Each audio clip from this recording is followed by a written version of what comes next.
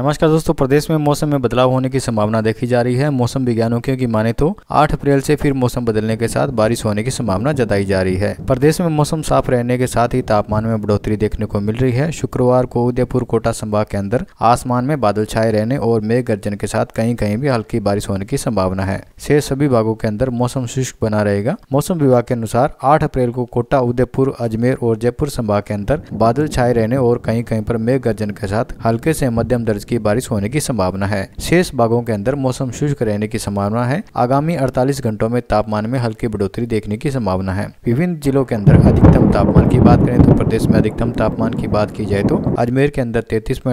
degree Celsius Bhilwara के अंदर चौंतीस डिग्री सेल्सियस अलवर के अंदर बत्तीस जयपुर के अंदर तैतीस डिग्री सेल्सियस मौसम विभाग के अनुसार तीन चार दिन बीकानेर जोधपुर संभाग के ज्यादातर हिस्सों के अंदर मौसम शुष्क रहेगा प्रदेश के तापमान के अंदर बढ़ोतरी दर्ज की गई है पूर्वी राजस्थान में अधिकतम तापमान अड़तीस डिग्री से ज्यादा दर्ज किया गया है वहीं बांसवाड़ा का अधिकतम तापमान अड़तीस